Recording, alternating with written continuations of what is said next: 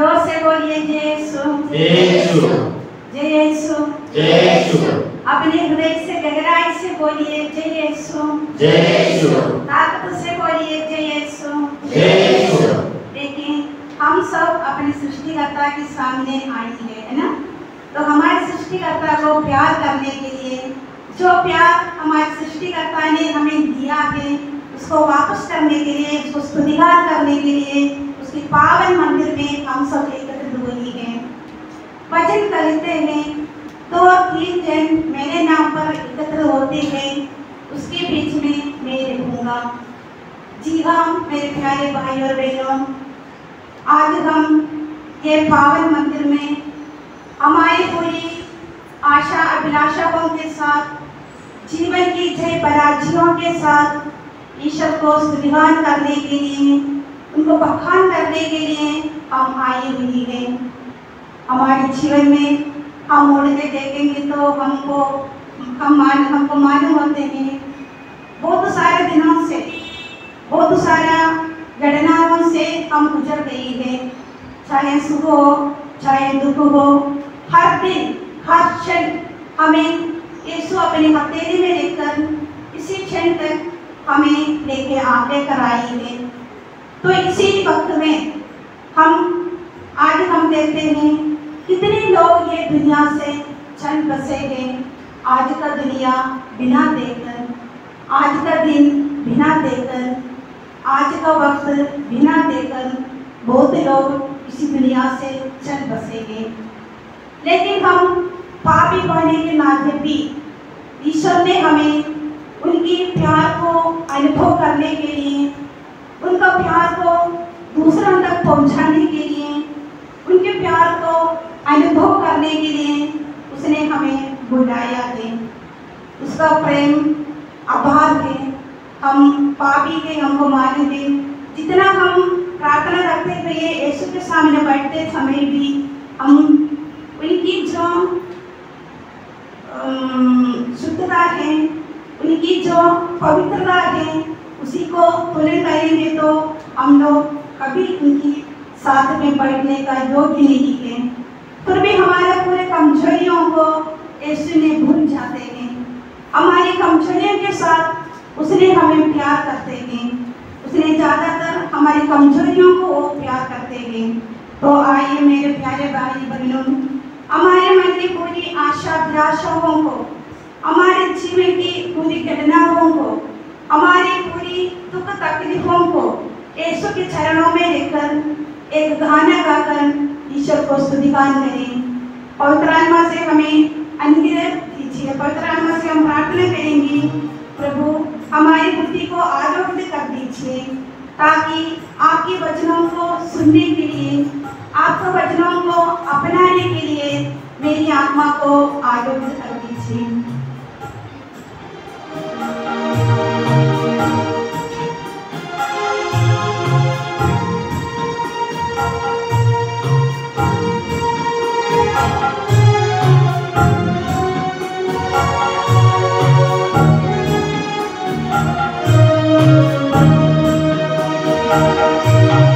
हे पावनात्मा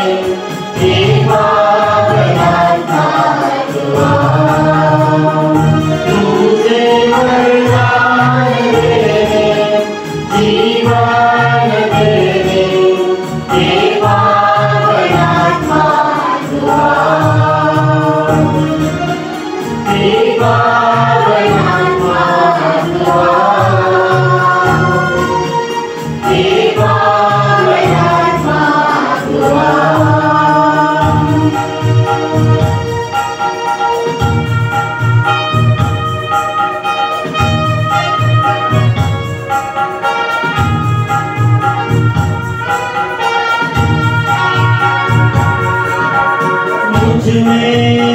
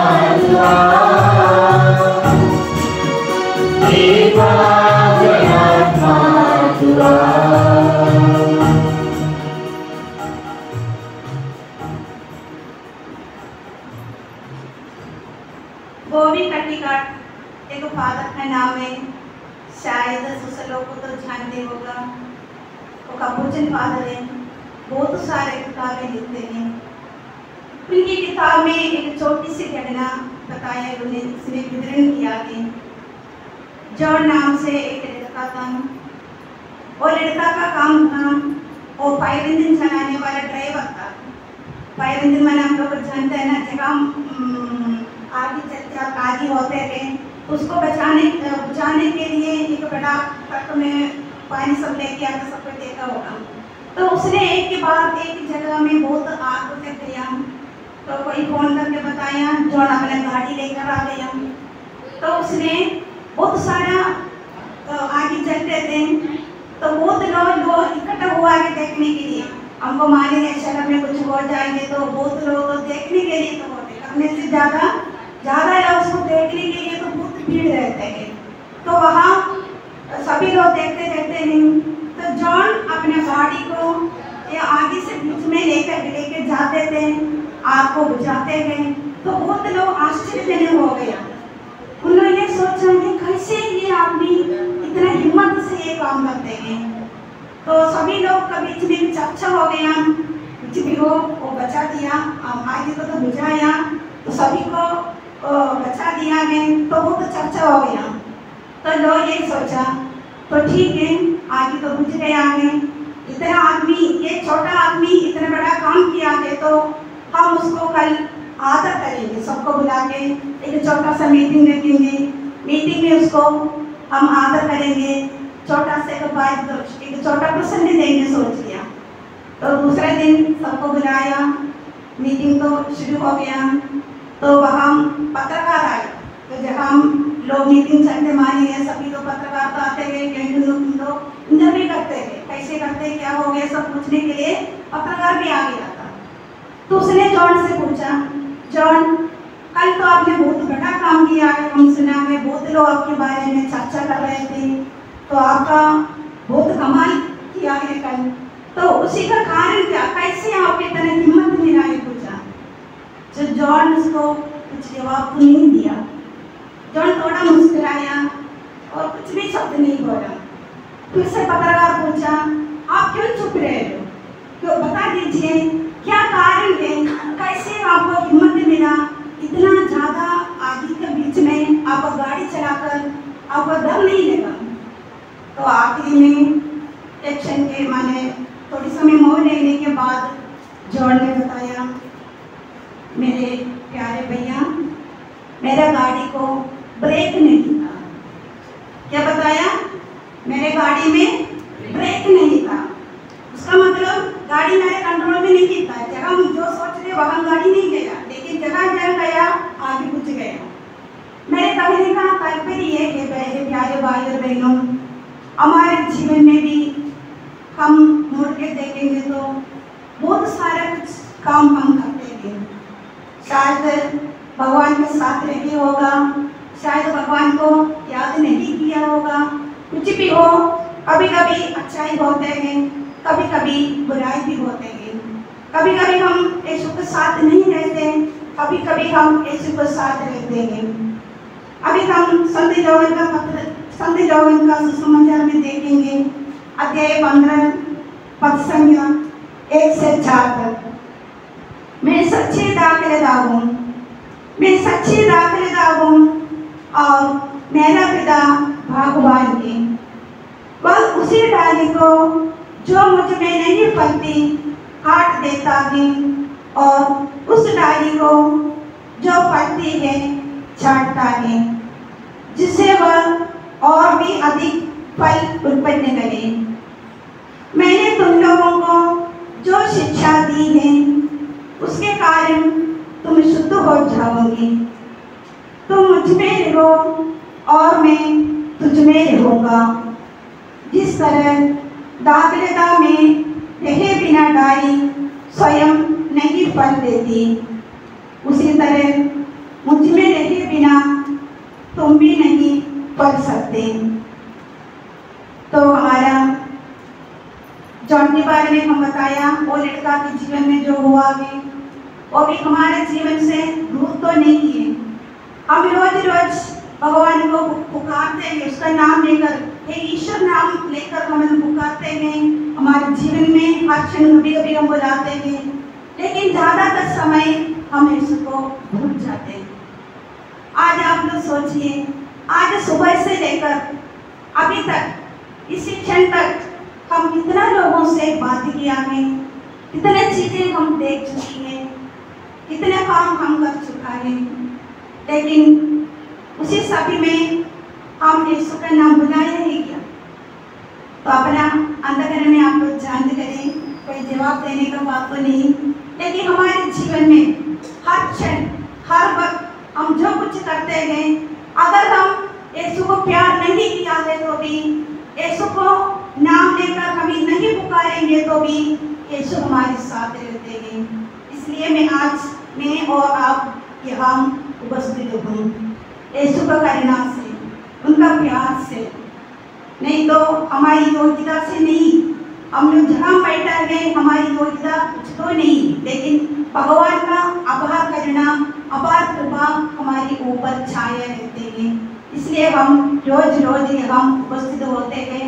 हर एक विपत्तियों से भगवान हमें बचाकर, उनकी छत्र छाया में हथेली में हमें लेकर, हमें संरक्षित रूप से, सुरक्षित रूप से हमें ये वक्त दिया है यीशु को स्तुतिगान करने के लिए बखान करने के लिए। हमारा जीवन तो बड़ा जीवन तो नहीं। एक छोटी सी ज़िंदगी दिया है भगवान। वो पता नहीं आज या कल कब वापस जाना है। एक बार हम लोग यहाँ दुनिया में आ है तो ज़रूरी है हम कल वापस तो जाना ही पड़ेगा।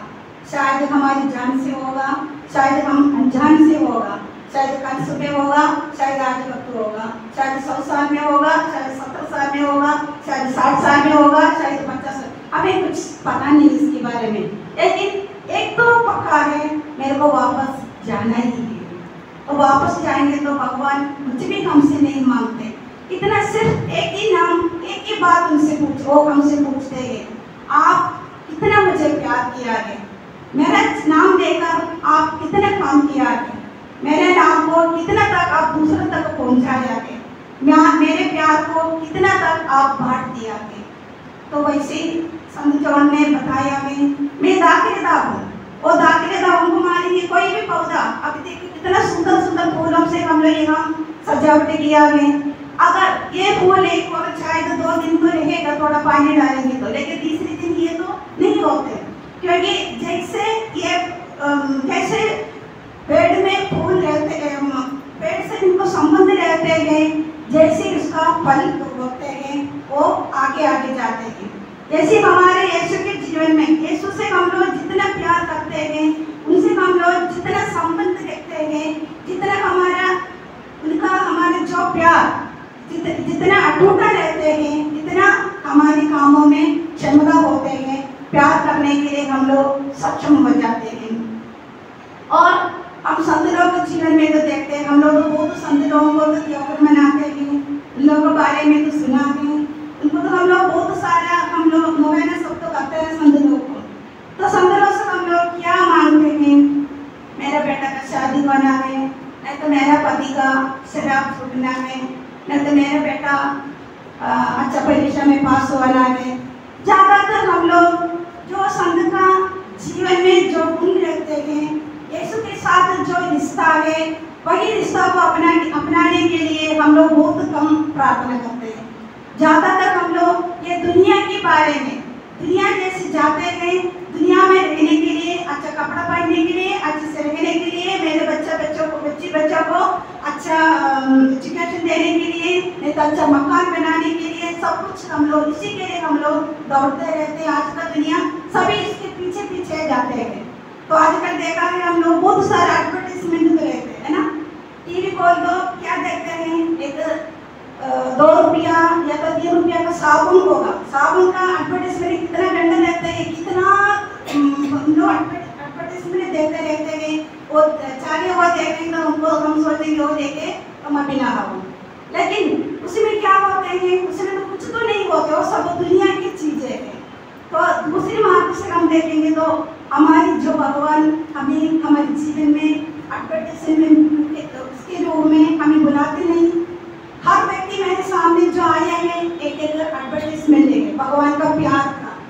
हर बगीचे में देखो, हर प्रगति में देखो, कुछ ना कुछ चीज़ें देखते हैं, वो सब भगवान का प्यार का एडवर्टीजमेंट है लेकिन वही हम लोग कभी सोचते हैं कि उसका प्यार के बारे में, जो भगवान, आज देखो सुबह से मैं अभी तक यहाँ गई, मैं बहुत लोगों को तो बातचीत किया गई डेढ़ सौ लोगों तो बहुत लोगों को तो सेवा किया होगा अभी सेवा में ये सोचा है कि आज इसी वक्त मुझे भगवान इसी को लेके आया है मेरा प्यार को यीशु का प्यार को उनको बांटने के लिए हम कभी सोचा है क्या शायद सोची होगा शायद नहीं सोचा होगा कुछ भी हो हमारे जीवन में एक ही लक्ष्य है हमें से यीशु के साथ हम लगना ज़रूरी होते हैं तब तो हमारे जीवन में मतलब रहते हैं। मैंने तो कोई मतलब नहीं नहीं रहते आप देख लो आज तो हम लोग बहुत अच्छे से सजावट करके तो सब कुछ चलते गए आते सब कुछ अच्छा ड्रेसिंग आते कल एक बड़ा बीमारी आ गया ये सब कहाँ जाएँगे हम्म, आजकल ऐसी बीमारी है कई डॉक्टरों को नहीं जानते कौन सा बीमारी है। कोई दवा काम नहीं करते कोई बीमारियों से। ये क्यों सब होते हैं? तो उसी का सब हम लोग कभी सोचते नहीं। मेरे के बारे में, हैं? मेरे यीशु इतना छोटा जीवन दिया है वही जीवन हमेशा यीशु के प्यार में रहने के लिए, यीशु को ये प्यार को दूसरे तक पहुँचाने के लिए, सेवा के रूप में, अच्छी बातों के रूप में, कुछ मदद के रूप में दूसरों तक हमारे जीवन को पहुंचाना है, हमारे जीवन को, तब तो हमारे जीवन में मतलब रहते हैं। संत तेरेसा के बारे में आप सब कुछ सुना होगा। जिसकी संत तेरेसा बहुत छोटी से कदम मैंने मर चुकी है वो तो संत बनी है। बहुत साल तक वो दुनिया में नहीं रही। बहुत छोटी से हो, ये दुनिया से विदा होकर चले गए। लेकिन आज कैथलिक चर्च, उसके बारे में वो कुछ बोलते हैं।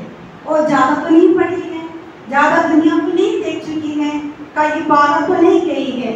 लेकिन एक कमरा में बैठकर उसने पूरा दुनिया के लिए प्रार्थना किया था। यीशु के साथ रहकर।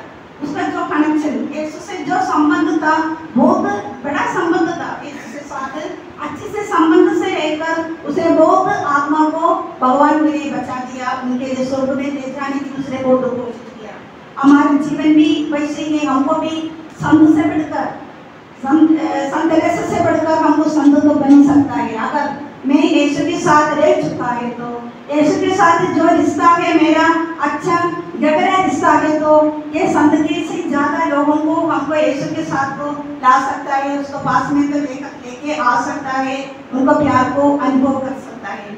तो छोटी छोटी संत से क्या करते थे? सुबह से लेकर उनके जीवन का हिस्ट्री पढ़ेंगे तो कुछ भी बड़ा काम उसने नहीं किया। हम लोग बहुत कुछ उनके बारे में तो किताब में पढ़ते गए कुछ भी काम नहीं किया सुबह जैसे हम लोग उठते हैं, उठते थे खाने का नाश्ता किया था मंजन किया था, कपड़ा पहनती थी, झाड़ू पोछते थे कपड़ा पहन, सब कुछ करते छोटी छोटी बातों। लेकिन हम जो काम कर रहे हैं, वही जो काम किया किया था, उसमें क्या अंदर था?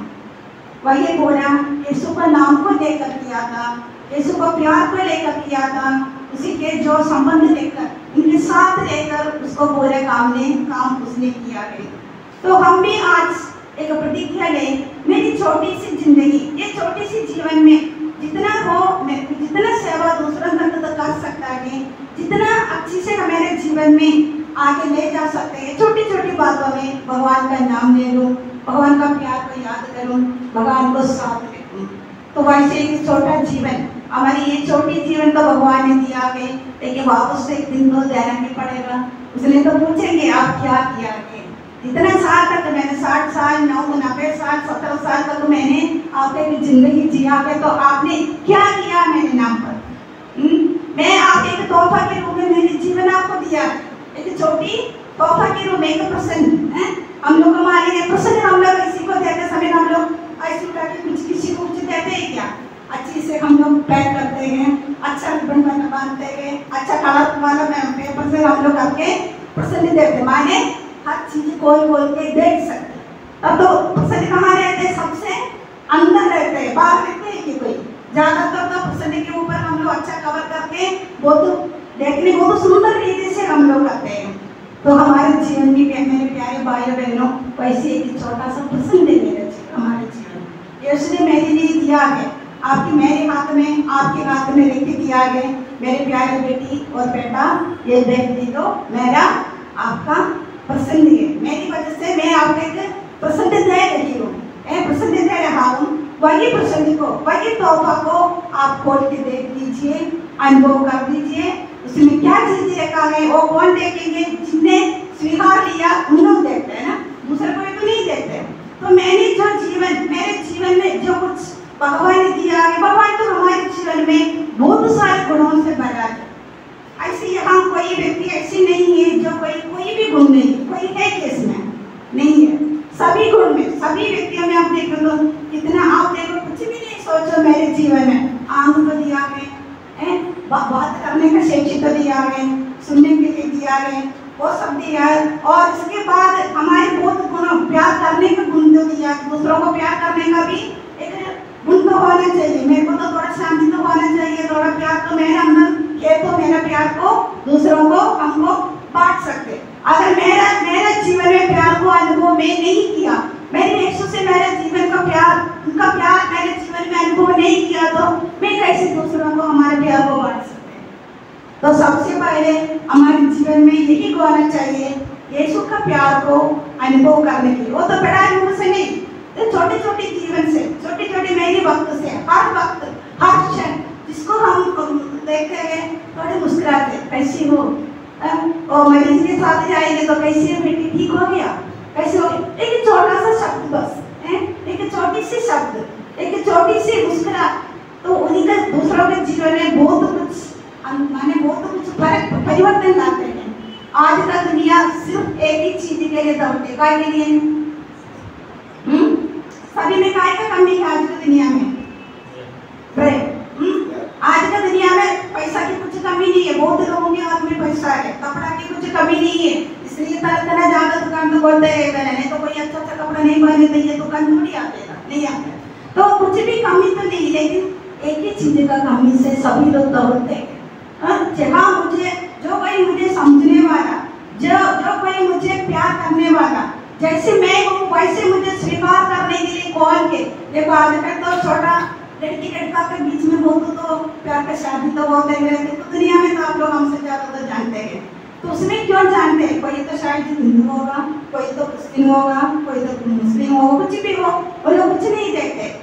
जितना बीस साल पच्चीस साल तो उन लोग का मम्मी पापा ने एक बेटा या बेटी को बेटा होके उनको माने इतना अच्छी चीज़ के रखने के बाद एक दिन सुन रहे वो लड़का वो दूसरी लड़की के साथ गया। क्यों ऐसे जाते हैं तो उन लोग ये देखते हैं मेरे को प्यार चाहिए। हम्म, क्यों उन लोग गया? सब कुछ मम्मी पापा भाई बहन मेरे पूरे रिश्ता को छोड़कर पूरे रिश्ता को तोड़कर मैं क्यों दूसरे के साथ गया? तो मेरे को प्यार चाहिए।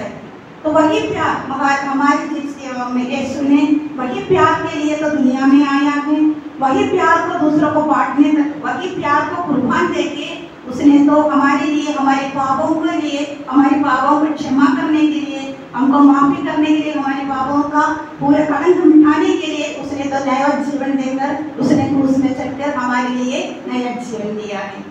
तो आजकल इन दिनों में हम लोग पवित्र आत्मा का फीस्ट के लिए तो तैयार होते थे देख रहे हैं इतवार इतवार को तो पवित्र आत्मा का तो फीस्ट हम लोग मनाएँगे अब आज हम प्रार्थना करेंगे, हे पवित्र आत्मा, मेरे हृदय में आप आ जाइए, ताकि ये आत्मा आत्मा है तो हमको ईश्वर का प्यार को तो अनुभव कर सकते। नहीं तो बिना आत्मा का परिणाम से, उनका संबंध से हमारे लिए कोई मतलब समझ नहीं आएगा हमको तो आज हम अच्छी से प्रार्थना करेंगे हमारे मन को तैयारी करेंगे, हमारे जीवन में, हमारे जीवन को बड़ा जीवन मैंने बताया ना, एक छोटी सी जीवन है, ये छोटी जीवन में जितना अच्छा काम हमको कर सकता है, जितना बड़ा है दूसरा को कर सकता है, उतना करने के लिए भगवान ने हम आशीष मांगे। तो आज हम यहाँ बैठते समय सभी लोग, हमारी कोई भी धर्म हो, या हिंदू हो, या मुस्लिम कोई भी हो, भगवान का प्रेम तो हमको अनुभव कर सकता है। भगवान तो हमें तो सृष्टि किया है। सृष्टि परिवार के भगवान ये दुनिया को तो जन्म दिया हुआ है आगे। हम हर जन को, हर क्षण, हर वक्त परिवार ही करते हैं, हमें आगे ले जाते हैं। तो हम वैसी संदेशा जैसी हमारी छोटी जीवन में। संदेश ऐसे थे हर चीज़ करने के बगैर उसने ये करती थी। जीसस, मेरा ये काम मैं दूसरों के लिए दे रही हूँ। उनको बचाने के लिए, नहीं तो वो मरीज़ को ठीक करने के लिए, नहीं तो जो मेरे पड़ोसी है, उन्हीं को देने के लिए नहीं तो जो आत्मा में पॉकेट में रहते उसी को बचाने के लिए। नहीं तो जो लोग जेल में रहते हैं, उनको बचाने के लिए। तो हमको भी कर सकता है ना? हमारे काम हम भी जो संदेश से किया, वही काम भी हम भी कर लेंगे। लेकिन उसमें इतना अंदर है, वो पूरा काम तो यीशु के साथ रहकर, उसी के साथ रहने के लिए उन्हीं को आगे ले जाने के लिए, उनको हाथ पकड़कर उनका जीवन आगे चला दिया तो हम भी आज हम लोग ईश्वर से प्रार्थना करेंगे। एक हम लोग दृढ़ प्रतिज्ञा लेंगे, मेरी ज़िंदगी छोटी जीवन अगर मेरे को तो बड़ा काम करने के लिए मौका तो नहीं मिलेगा।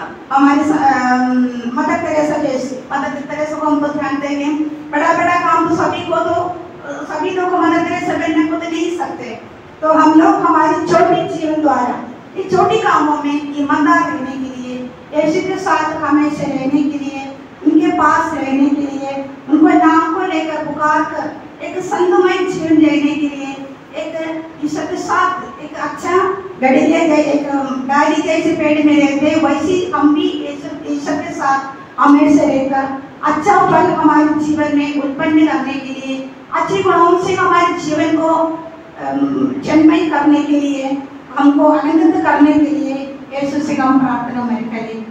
तो आज के लिए दिन के लिए एक और बार सबको धन्यवाद देते हुए, भगवान को धन्यवाद देते हुए, आज भी फिर से भगवान हमें बुलाया है आपका कमजोरियों को भूल कर मेरे प्रेम में आप आ जाइए। मेरे प्रेम को आप अनुभव कर दीजिए, ताकि हम और मैं आप दोनों एक ही हो जाए और मेरे जीवन की मतलब हो जाए। Thank you.